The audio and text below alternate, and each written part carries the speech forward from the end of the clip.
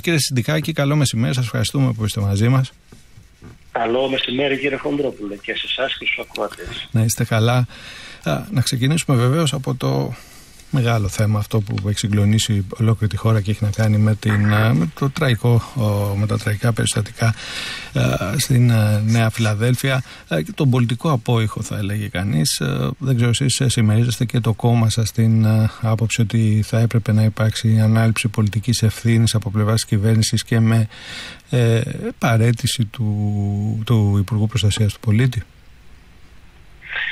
Κύριε Χοντρόπουλε, καταρχήν να εκφράσουμε τα θερμά μας συλληπιτήρια στην οικογένεια και στους φίλους του νεαρού οπαδού της ΑΕΚ. Προκαλεί οργή ε, όχι μόνο στους φιλάθλους, σε όλο το λαό. Και προφανώς η κυβέρνηση έχει τεράστιες ευθύνες για αυτή την εξέλιξη. Και όχι απλώς έχει τεράστιες ευθύνες, αλλά για να τις συγκαλύψει συνεχίζει αυτή την επιχείρηση κουκουλώματος των τεράστιων ευθυνών τις οποίες έχει ε, είναι εξόφαλη άλλωστε η προσπάθεια να αποδοθεί η όλη υπόθεση ας το πω έτσι σε ένα εσωτερικό αλαλούμ της αστυνομίας και με τον τρόπο αυτό να μείνει στο απειρόβλητο, ε, να μείνουν στο απειρόβλητο οι σοβαρές πολιτικές ευθύνες οι οποίες έχει. Είναι υπόλογη για το γεγονός ότι οι οργανωμένοι χούλιγκανς από την Κροατία διέσχισαν τα Βαλκάνια, τα Δυτικά Βαλκάνια, σχεδόν τη μισή Ευρώπη, ταξίδευσαν οδικώς, κυκλοφορούσαν οπλισμένοι, έφτασαν ανενόχλητοι στο γήπεδο της ε, ΑΕΠ και μάλιστα σε συνθήκες απαγόρευσης μετακίνησης οργανωμένων οπάδων. Ε, άρα λοιπόν εδώ μιλάμε για μια προκλητική προσπάθεια να ακολουθούν οι ευθύνες και της κυβέρνησης αλλά και συνολικά του κράτους. Και επιτρέψτε μου εδώ να πω το εξής ότι μιλάμε για νεοναζί και θα έλεγα πολλά μέσα μαζικής ενημέρωσης αποκρύπτουν αυτό το γεγονός. Δεν είναι απλά ε, ένα στοιχείο οπαδικής βίας ή αν θέλετε η οπαδική βία και ο χουλιγκανισμός σε πολύ μεγάλο βαθμό είναι συνώνυμα με τέτοιου είδους φασιστικές, νεοναζιστικές πρακτικές. Και πολλές φορές δεν αναφέρουν ότι αυτό το νεοναζιστικό παρόν των οπαδών των, της δυναμό Ζάγκρεπ συνδέεται και με το δολοφονικό τάγμα Ζόφ στην Ουκρανία. Μάλιστα είναι και αδελφοποιημένοι με το Ναζί ε, του Αζόφ. Ο πρώην αρχηγός των Bad Blue Boys, ο, ονόματι Σέντερ, πριν τον πόλεμο πέρασε έξι χρόνια με το τάγμα Αζόφ της Ουκρανίας.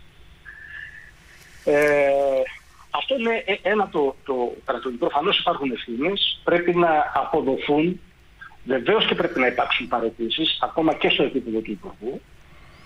Αυτό είναι ένα το κρατούμενο. Από εκεί και μετά. Είναι απλά ένα ραντεβού παντών αυτό που είχαμε. Δηλαδή είχαμε μια σχεδιασμένη δολοφονική επίθεση των φασιστών.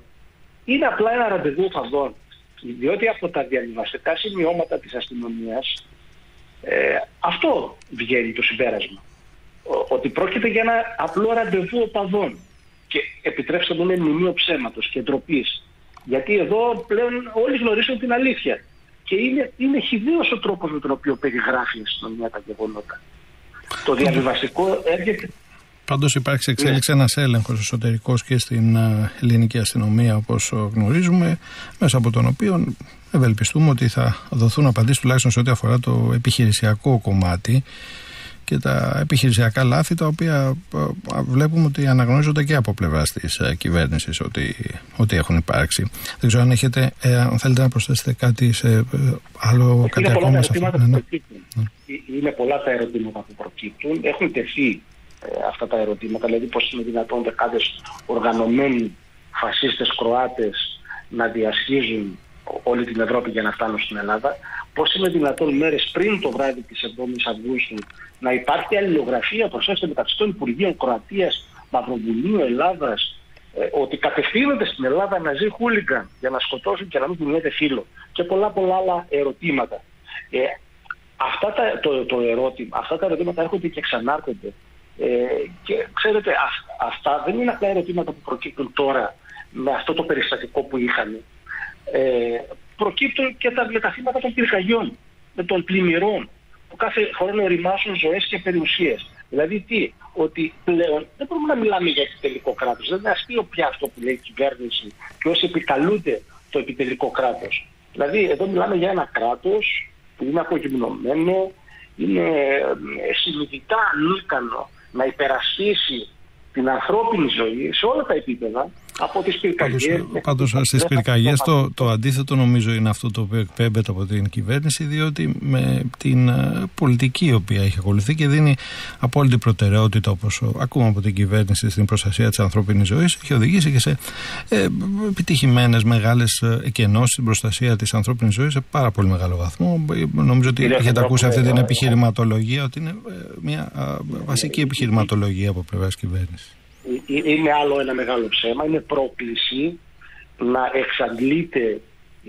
η, όλη προσπάθεια στο 112, τρεχάτε να σωθείτε, αυτό είναι, διότι δεν έχει πάρθει κανένα ουσιαστικό μέτρο, ιδίως στο ζήτημα της πρόληψης, όλα εντοπίζονται στην φάση της καταστολής και καταστολής σημαίνει τρεχάτε για να σωθείτε, τίποτα περισσότερο ε, έχουμε τόσα θύματα και δεν είναι τώρα με, τις, ε, με τα 500.000 στρέμματα καμένης γης μέσα σε 15-20 μέρες. Δηλαδή από πού να το πιάσουμε τώρα, να πιάσουμε τη μάτρα γης, να πιάσουμε το μάτι, να πιάσουμε τις πυρκαγιές σχέδιας, το γεγονός ότι έχει ψηλωτή όλη η Αττική σε πολλές περιοχές ε, της χώρας. Ε, δηλαδή γίνεται μια προσπάθεια από την πλευρά της κυβέρνησης να αποκρύψει τις δικές της βαρύτατες πολιτικές ευθύνες και διαχρονικά εγώ θα σας έλεγα όλο το κυβερνήσω.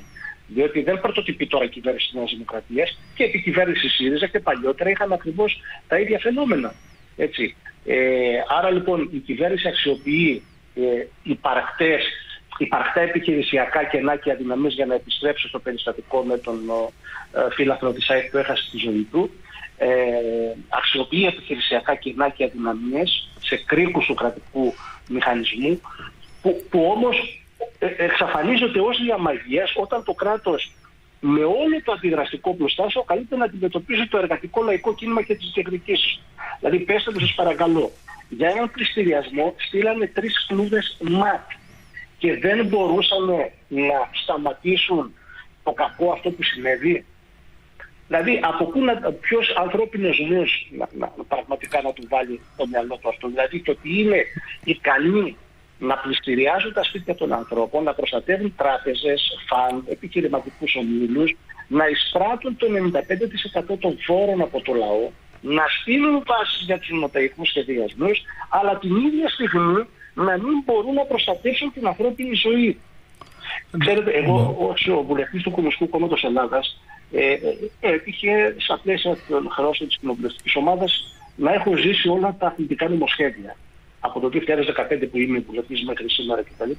Δηλαδή, Όπου έχουν ληφθεί μια σειρά από μέτρα και για το θέμα της, ε, της οπαδικής ε, βίας. Ακούστε να ρωτήσω τώρα. Ναι. Έχουμε διεθνείς συμβάσεις όπως η ΣΕΝΤΕΝΗ του Συμβουλίου της Ευρώπης, Μάρτ του 2022, που αφορούσε ε, την αντιμετώπιση της αθλητικής βίας κτλ είχαμε πιο μπροστά τη σύμβαση Μακολίν του, που ψηφίστηκε το 2019 από το Ελληνικό Κοινοβούλιο για την αντιμετώπιση της αθλητικής βίας μα καμία, καμία από αυτές τις συμβάσεις, κανένα από αυτά τα νομοσχέδια δεν συνδέεται το ίδιο το φαινόμενο της, βία, της βίας με τον εμπορευματοποιημένο αθλητισμό.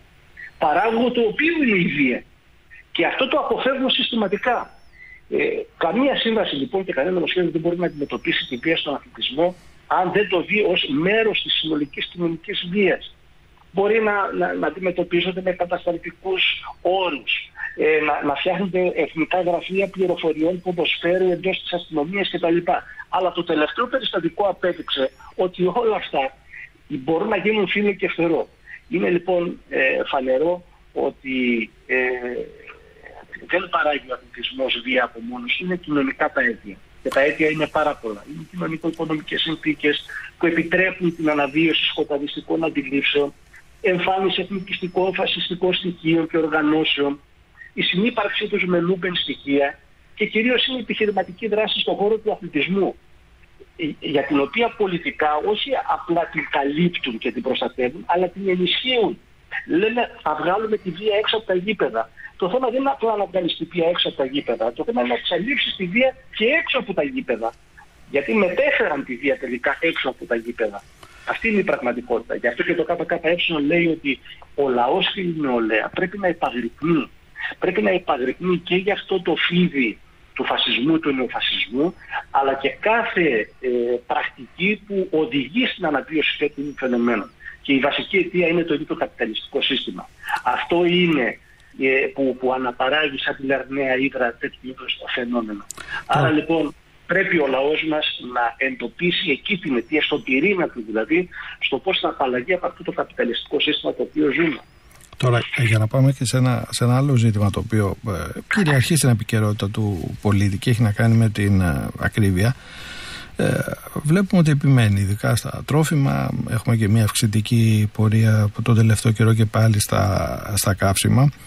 Ε, θα ήθελα ε, ε, το Κομμουνιστικό Κόμμα Ελλάδος, ποια πιστεύει ότι είναι τελικά η λύση που μπορεί να είναι αποτελεσματική σε ένα, σε ένα τέτοιο θέμα, που νομίζω θα αναγνώσετε κι εσείς ότι τουλάχιστον από πλευράς κυβέρνησης γίνεται μια προσπάθεια ενίσχυσης ε, και των πιο αδύναμων και σημαντικών κοινωνικών ομάδων με επιδόματα, με αυξήσεις ε, μισθολογικές, με μια ενίσχυση, προσπάθεια ενίσχυσης του διαθέσιμου εισοδήματος. Ε, πώς μπορεί να αντιμετωπιστεί στη ρίζα του, πώς μπορούν να χαμηλώσουν τιμές πέραν της ενίσχυσης και της στήριξης των, των, των πολιτών του διαθέσιμου εισοδήματος, πώς μπορούν να πέσουν τιμές σύμφωνα με, έτσι, με την εκτίμηση του Κομμουνιστικού Κόμματος Ελλάδος; Κύριε Χοδρόπουλε, το, το τοπίο για τα λαϊκά νοικοκυριά είναι πραγματικά ζωφερό. Όπως είπατε και εσείς, ο πληθωρισμός έχει αυξηθεί τον Ιούλιο σε σχέση με τον Ιούνιο, δηλαδή τρέχει με 3,4% έναντι 2,8% τον Ιούλιο. Ε, και φυσικά η ακρίβεια σε τρόφιμα, στην ενέργεια ε, εξαϊλώνουν σε χρόνο, σε χρόνο μηδέν τους πενιχρούς μισθούς. Πόσο να διαρκήσουν, να διαρκήσουν 10 μέρες, 15 μέρες. Εδώ το 60% του εισοδήματος πάει σε φαγητό και στέλνει. Ένα στα δύο νοικοκυριά έχει κόψει το κρέας. Και βλέπετε η βενζίνη έχει εκτοξευτεί πάνω από τα 2 ευρώ το λίτρο. Και, και ενώ συμβαίνουν όλα αυτά, η φορολιστία συνεχίζεται με αμύωτη ένταση. Ε, τα φορολογικά έσοδα έφτασαν στα 27 δισεκατομμύρια ευρώ, αυξημένα κατά 2 πλάς δισεκατομμύρια ευρώ είναι αυτό που σας έλεγα προηγουμένως ότι από αυτά το 95% το πληρώνει ο λαός και μόλις το 5% αφορά την επιβάρυνση που έχουν οι μεγάλοι επιχειρηματικοί όμοι. Εμείς ως Κομμουνιστικό Κόμμα Ελλάδας ε, δεν τρέφουμε αυταπάτες. Ξέρετε, ε, αυτό που ε, έχει μεγαλύτερη, μεγάλη σημασία για αυτό το σύστημα που ζούμε, για τους επιχειρηματικούς ομίλους που κυριαρχούν, που διαφεντεύουν, είναι το κέρδος δεν είναι απλά μια εσχροκέρδεια. Φυσικά υπάρχει εσχροκέρδεια, αλλά εδώ έχεις ένα κράτος το οποίο καλύπτει τους επιχειρηματικούς ομίλους σε μια προσπάθεια να ενισχυθεί η κερδοφορία τους και η ανταγωνιστικότητά τους. Εμείς ω κομμουνιστέ. Και, αυτό είναι ε, ο, ο, Θεός του συστήματος. Δεν είναι ότι ε, είναι μια αστοχία, είναι ένα λάθος θα σας έλεγε κανείς όμως, κύριε Συντιχάκη, ότι υπάρχουν έλεγχοι, έχουν ανακοινωθεί πρόστιμα, πρόστιμα και σε μεγάλες επιχειρήσεις. Ε, δηλαδή, από την πλευρά της κυβέρνηση θα ισχυριζόταν, ισχυρίζεται, θα έλεγα, ότι ε, γίνεται μια, μια προσπάθεια να σταματήσουν και πρακτικές παραπλάνησης και πρακτικές εσωκέρδιας. δεν είναι κάτι πραγματικό αυτό. Κοιτάξτε να σας πω, το 2022 είχαμε 150 εισηγμένες εταιρείες στο χρηματιστήριο που είχαν 300% κέρδη. Κερδοφορία, δηλαδή ναι. πάνω από 10 δισεκατομμύρια ευρώ σε σχέση με το 2021. Εδώ δεν είναι απλά μια παράνομη κλοπή, μια παράνομη ληστεία, μια ληστεία να το πω έτσι. Εδώ έχεις νόμιμη κλοπή. Γιατί, γιατί έτσι πρέπει να λειτουργήσει το καπιταλιστικό σύστημα. Ο θάνατός είναι η ζωή μου πρέπει να διασφαλιστούν τα κέρδη των επιχειρηματικών ομίλων. Πρέπει να διασφαλιστεί η ανταγωνιστικότητα έναντι άλλων μεγαλύτερων ευρωπαϊκών ε, επιχειρήσεων κτλ. Εμείς ως Κομμουνιστικό Κόμμα Ελλάδας, επαναλαμβάνω χωρίς να τρέφουμε αυτές τι αυταπάτε, έχουμε καταθέσει πολύ συγκεκριμένες προτάσεις κατά επανάληψη, οι οποίες απορρίπτονται όχι μόνο από την κυβέρνηση της Νέας Δημοκρατίας και από το ΣΥΡΙΖΑ και από το ΠΑΣΟΚ και από άλλα κόμματα, όπως για παράδειγμα η κατάργηση των ειδικών φόρων κατανάλωσης στα καύσιμα και στην ενέργεια να καταργηθεί ο ΦΠΑ στα βασικά είδη λαϊκής κατανάλωσης. Πάντως η κυβέρνηση για όλα αυτά έχει πει και προεκλογικά ουσιαστικά. Το, το, το ακούσαμε πολλές φορές ότι θεωρεί ότι δεν θα είναι αποτελεσματικά ενδεχομένως μέτρα μείωσης του ΦΠΑ των ειδικών φόρων, διότι δεν θα φτάσουν σίγουρα στον καταναλωτή, θα απορροφηθούν στην ενδιάμεση πορεία. Και αυτό βεβαίως δημιουργεί ένα ερώτημα για τους ελεγκτικούς μηχανισμούς σε κάθε περίπτωση. Ε, Βεβαίως. Να και... δούμε και τους ελεγκτικούς μηχανισμούς. Και είναι ακριβώς ένα ερώτημα το οποίο θα ήθελα έτσι τελειώνοντας να, να αναφερθούμε, να σας κάνω το ερώτημα και συνολικά να, έτσι, να τοποθετηθείτε. Ε, ακούμε συνεχώς για, για εντατικοποίηση των ελέγχων, για σαφάρι ελέγχων, είτε, είτε έχει να κάνει με την ακρίβεια, με την ασχροκέρδεια, με πρακτικές παραπλάνηση των καταναλωτών, με την αγορά εργασίας, με, με πάρα πολλά ζητήματα. Ακούμε και με τις παραλίες τελευταία αυτό το ζήτημα με τις αντιδράσεις της κοινωνίας των πολιτών ακούμε για εντατικοποίηση των ελέγχων.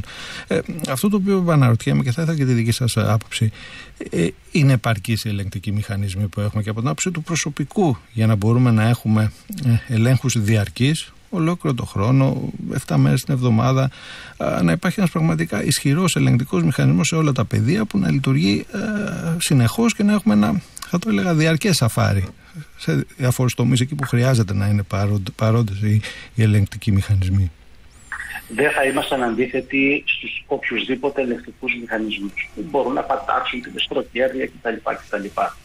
Εδώ που μιλάμε για νόμιμη κλοπή, κύριε Χοντρό, δεν ξέρω αν, αν γίνουμε αντιληπτός. Όταν το 95% των φόρων ε, ε, τους επομίζονται το, η συντηρητική πλειοψηφία των εργαζομένων και μόλις ένα 5% η επιχειρηματική ομιλή, ε, αντιλαμβάνεσαι ότι αυτό είναι κλοπή. Όταν εδώ έχεις έμεσους φόρους, τους πιο αντιδραστικούς, τους πιο αντιλαϊκούς ε, φόρους, ε, που, που τους επομίζονται σε, σε πολύ μεγαλύτερο βαθμό τα εργατικά λαϊκά στρώματα, ε, ανταλαμβάνεις ότι αυτό είναι μια νόμιμη κλοπή. Είναι νόμιμη κλοπή. Άρα, άρα λοιπόν εδώ δεν έχεις να κάνεις με κάποιες στρεβλώσεις του συστήματος. Ακόμα και οι όποιοι έλεγχοι και αν γίνουν ακόμα και όποιοι μηχανισμοί και αν στελεχωθούν, επανδρωθούν κτλ. κτλ δεν πρόκειται να αντιμετωπίσει αυτό ε, το μέγεθος της φορολιστίας σε βάρος του λαού. Δηλαδή δεν γίνεται για παράδειγμα να έχουν φοροασυλία στο τραπεζικό σύστημα με τον αναβαλόμενο φόρο. Δεν γίνεται το 2022 να είχαν 2,5 δισεκατομμύρια κέρδη οι τράπεζες και, και να αναβάλλεται η καταβολή του φόρου στο τραπεζικό σύστημα.